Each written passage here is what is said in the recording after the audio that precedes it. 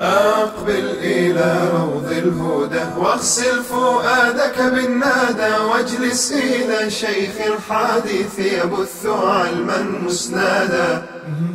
أقبل إلى روض الهدى. مشاهدينا الكرام السلام عليكم ورحمة الله وبركاته. الحمد لله والصلاة والسلام على رسول الله وعلى آله وصحبه ومن والاه ثم أما بعد. مشاهدينا الكرام حياكم الله وبياكم وجعل الجنة مثوانا ومثواكم. لقاء يتجدد وبالخير يمتد مع فضيلة الشيخ أبو إسحاق الحويني. حياكم الله شيخنا. بارك الله فيك. بارك الله فيك ورفع الله. قدرك في الدارين. آه، شيخنا الفاضل توقفنا في الحلقة الماضية عند طرف من آه، تجربة فضيلتك الدعوية والتي يمكن أن نصطلع عليها أنها محنة والتي كان فيها نوع من الصدام وإن لم يكن من طرفك مع الأجهزة الأمنية التي كانت أرادت أن تسلط الضوء أو أن تقف لتعرف منهجك الفكري والأمور اللي مثل هذه.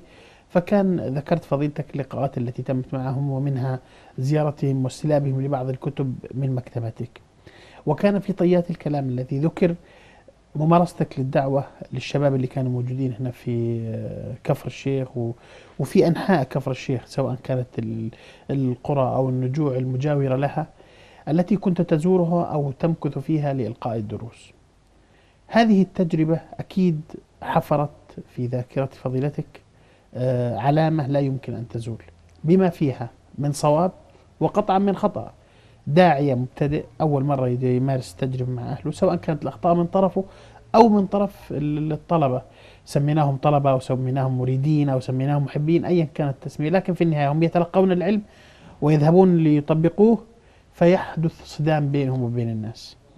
أعتقد أن هذه آه، إذا عدنا بالذاكرة ستكون يعني هناك موفور كبير في ذاكرة فضيلتك عن هذا عن هذه المرحلة تحديدا. أي نعم. الحمد لله رب العالمين والصلاة والسلام على نبينا سيد المرسلين وعلى آله وأصحابه أجمعين. آه، طبعا لا شك في ذلك كما ذكرت أن آه، يعني ونحن في فورة الشباب ولم يكن لنا آه، من يعلمنا كيف نتعامل مع الناس. آه، كانت لنا أخطاء. وأنا صرحت بهذه الأخطاء في مرات كثيرة في محاضراتي ودروسي حتى يتعلم شبابنا كيف يوصلون الدعوة إلى الناس. لأن النبي عليه الصلاة والسلام كما في حديث أبي مسعود البدري رضي الله عنه أن رجلا شكى إلى النبي عليه الصلاة والسلام أن فلانا أنه لا يصلي خلف فلان لما يطيل. أنني لا أدرك الصلاة مما يطيل بنا فلان. فغضب النبي عليه الصلاة والسلام غضبا شديدا في هذه المرة وقال أيها الناس إن منكم منفرين. طبعا أنا لفت نظري في الحديث. يقول أنا لا أدرك الصلاة مما يطيل بنا فلان. فقلت طب إزاي؟ المفروض هو كلما أطال تكون الفرصة أكثر للذي يتأخر أن يدرك الصلاة. فكيف لا يدرك مع هذه الإطالة؟ فعلمت طبعا فيما بعد من ملابستي للناس أن الرجل الذي آه، يتأخر عن الصلاة لا يريد أن يقف طويلا فيقوم يقدر بينه وبين نفسه أنه سينهي الركعة الأولى والثانية في حدود الوقت الفلاني. فتطيش معه هذه الاحتمالات. فيذهب فيدرك مثلا السجدة الأخيرة. يعني لأن الذي يطيل عادة لا يطيل في كل مرة نفس الإطالة تمام؟ فممكن يعني يطيل مرة يتوسط مرة يقصر مرة. فقد يعني إيه يقصر في مرة من المرات الرجل يذهب إلى الصلاة يظنه يطيل فيها وإذا بالصلاة قد انتهت. اللي هو اعتاد أن يصطاد وقت بز- الركوع. بالضبط. وسط إيه يعني يدرك ركعة واحدة ويكمل بقية الصلاة وكده يعني. مسبوق. مسبوقا نعم. فقال أيها الناس أيها الناس إن منكم منفرين. لا شك أننا كنا في البداية بسبب حماستنا الشديدة واكتشافنا هذه السنة الغراء وأن ال- الجو الصوفي هو اللي كان معشش في الأرياف آنذاك وأن الذين رأيناهم بلحى بيضاء أو هؤلاء كانوا من الصوفية وطبعا كان لهم يعني آه، آه، وجدانيات كثيرة مع الناس والكلام ده فأحبوهم. نعم. وبالتالي أخذوا عنهم دينهم. فكل ما نيجي نغير يقول لك جابوا دين جديد ويقفون لنا بالمرصاد. لم نكن أو أنا أتكلم عن نفسي يعني لم أكن أدرك يعني آه، أن الكبير ينبغي أن يعامل معاملة آه، خاصة من الصغير حتى لو كان جاهلا. أنا علمت أن هذا هو الحق وهذه السنة أقاتل دونها. يعني ولا, ت- ولا تفاصل في دينك. لا أفاصل فيه أنا كنت بعتقد آنذاك وطبعا طبعا ده كله سبب الجهل بعلم الأصول. آه كنت بعتقد آنذاك أن الذي أقرأه لابد أن ينفذ. وما كنتش أعرف حاجة اسمها واجب ولا مستحب ولا مباح ولا الكلام ده. وعدم. وجود الموجه أيضا. ما في طب ما أنا بقول لك بنجتهد. أحببنا ديننا. زي ما قلت لك قبل ذلك الشيخ عبد الحميد كشك رحمة الله عليه فجر عندنا ينبوع الحب. لهذا الدين. واستفدنا منه في أشياء كثيرة وكنا بننقل حتى الأحاديث الموضوعة ننقلها برضو كما هي ونقولها. فلما حملنا هذه الدعوة واكتشفناها واكتشفنا السنة وحبينا بقى إن إحنا إيه نكون إيه يعني آه، مش هقول لك النذير العريان. هدى. لا ما ياخد بالك إزاي؟ لا يعني إيه هداة لقومنا. وشفنا إن يعني آه، أفضل يعني أولى من ينبغي أن نبث فيهم هذا هذه الدعوة وهذا العلم. هم أهلنا. اهلنا فكنت أنا طبعا باعتباري طالب جامعي ولما كنت في الأجازة الصيفية كان بي- يقدموني أصلي لهم. وفي نفس الوقت كان صوتي كويس جميل يعني فكانوا يحبوا يصلوا ورايا. ف في يوم من الأيام اتفقت أنا ومجموعة من الصبيان. ما هو كان أنا كنت في الجامعة وكنت بعلم مين؟ بعلم في الاعدادي والابتدائي الاعدادي والثانوي خمسة ابتدائي ولا وابتدائي ستة ابتدائي وإعدادي وكان سنة قليل يعني مش كتير. أصحاب جابر ينهض به. آه لا بالظبط كده. اللي هو اللي هو ينهض بنهضه الجابر دي. بالضبط. واخد بالك إزاي؟ ف لقينا الناس في المغرب المغرب غريب إحنا عايزين نصلي السنة. وأنا قرأت آه، في كتاب الشيخ الألباني. الصلاة قبل المغرب سنة. آه، صلوا قبل المغرب صلوا قبل المغرب صلوا قبل المغرب لمن شاء. أنا بصراحة ما شفتش لمن شاء دي. واخد بالك؟ يعني فقلت طب إزاي اللي ما نصليش؟ لابد أن نحيي سنة الصلاة قبل المغرب. كان في طالب في الأعدادي ولي جدا. وأنا كنت الإمام. اتفقت معاه. قلت له أنت تدن وجنب باب الجامع اللي انت بتدن عليه متدارك الله أكبر وداخل في إيه الركعتين بتوع الصلاة سنة المغرب. وأنا واقف في القبلة أقوم أنا كمان إيه لا إله إلا الله حتى ما كنتش بقول الدعاء اللي دعاء الأذان اللي بعد الأذان ليه هيقولوا أقم الصلاة؟ فأنا عشان ما امكنهمش إن هم كده كنت بصلي على طول. مرة واثنين والكلام ده قاعدين الناس بينفخوا متضجرين والكلام ده وبعدين لما زادت قوي وكل مغرب لازم نصلي وينبهوا علينا ونعاند فيهم لازم سنة المغرب ويت- يشتموني بدأوا يشتموني ويتكلموا كلام من خارج وحاجات زي كده. ف حتى ظللت حوالي أكتر من سنة. نتشتم وكل ما نتشتم كبرانا معانا قوي. الجهاد بقى في سبيل الله والأذى في سبيل الله سبحانه وتعالى وإحياء السنة لا يكون إلا بالجهاد والتعب والشتيمة والكلام. فكنا مستمتعين جدا بمسألة الشتيمة. ولما الشباب الصغير ده يزعل ولا حاجة أصبرهم. أقول لهم النبي صلى الله عليه وسلم كم أوذي ولما ذهب إلى الطائف عملوا فيه إيه ولما كذا ولا يعني يطبق عليهم الأخشبين الأحاديث المعروفة دي فيقوم الشباب إيه يعني آه، يتحمس شوية ويطول نفسه في مقاومة القوم تاخد بالك إزاي؟ وكنا بنعتبرهم زي كفار قريش مش ما بنكفرهمش بس إيه زي ما كانوا عقبة في سبيل الدعوة نقول هك- هكذا الحق دائما غريب وإلى آخره. اللي فك ال- القصة اللي عندي دي كده إزازة عطر ورد لما بقى إيه ابتدينا نحضر للشيوخ وفي المساجد آه، وكان ايامها بقى الشيخ الغزالي رحمة الله عليه والشيخ آه، حافظ سلامه والشيخ المطيعي والشيخ صلاح إسماعيل والشيخ جميل غازي والشيخ عبد الرشيد صقر كان في مسجد صلاح الدين في المنيل. ومجموعة يعني من الإيه من من المشايخ الدعاء آه، والمربين. آه المربين. الذين هم قاموا في هذا الوقت بالضبط. دور المربين. فكنا نستمع إليهم والحقيقة استفدنا منهم جميعا. رحمة الله على من مات منهم.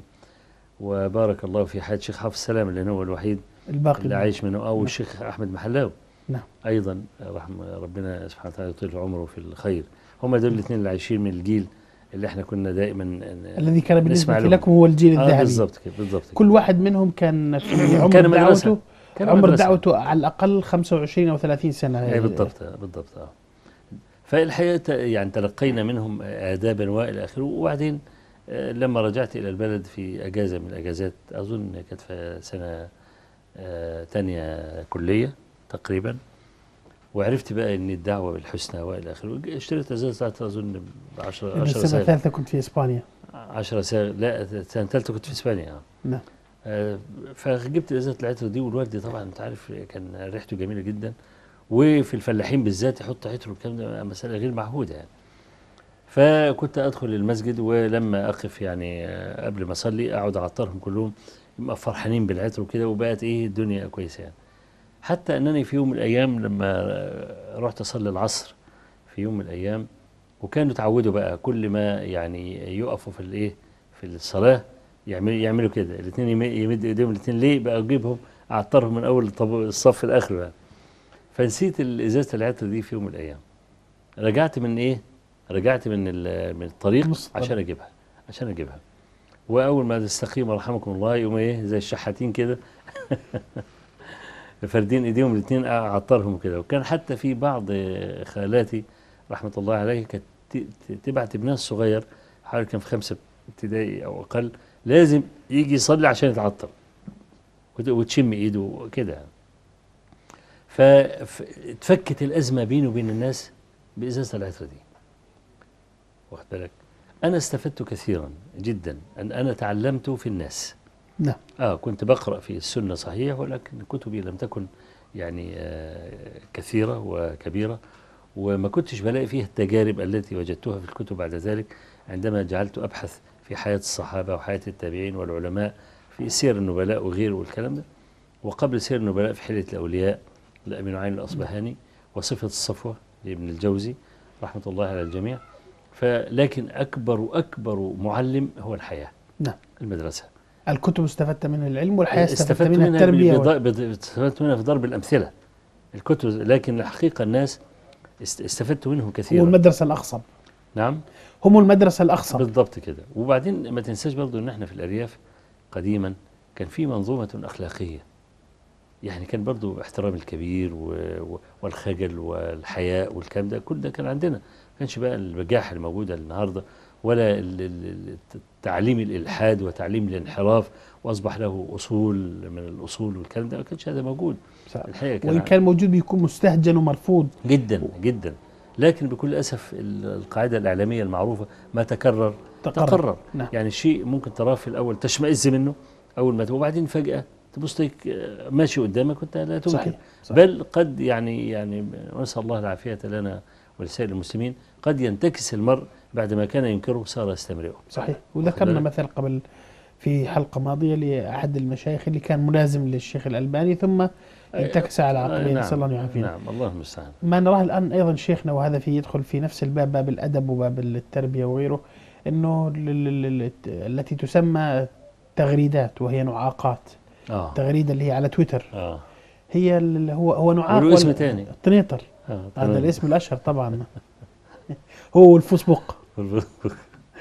فما نراه على التنيطر من من أمر يصل إلى حد الإلحاد وقبل أيام في أحد بلاد المسلمين كاتب آه، اجترأ على الله عز وجل في إحدى رواياته وتكلم كلاما لا يليق بحال من الأحوال حتى لا لا نعيد لا نعيد كلامه الذي تكلم فيه على الذات الإلهية. ثم سجن هذا الرجل وبعدين الدعوات الم- المطالبة بحر بالحريات وحقوق الحيوان وغيرها من المطالبات أفرج عن هذا الرجل وفقا لهذه الحقوق. آه وهذا الكلام قريب جدا يعني ال- ال- الإفراج كان اليوم أو البارحة. هؤلاء تفضلت قبل قليل وقلت أنها كانت الدعوات غير موجودة لأن الجرأة كانت كبيرة. منظومة أدب منظومة أخلاق منظومة آه. حشمة آه. للذات الإلهية صح، وح- صح. وحشمة للدين بشكل عام. الآن هذه للأسف فقدت. الله المستعان فقدت آه، كثيرا. لا قديما كما قلت المنظومة الأخلاقية ساعدتنا كثيرا. وطالعين من صغرنا بنصلي يعني ما, ما فيش حاجة اسمها واحد ما يصليش في الأرياف في في ذلك الزمان. مع أن الآباء قديما آبائنا ط- ما كانوا يأخذوننا إلى المساجد. سايبيننا كده.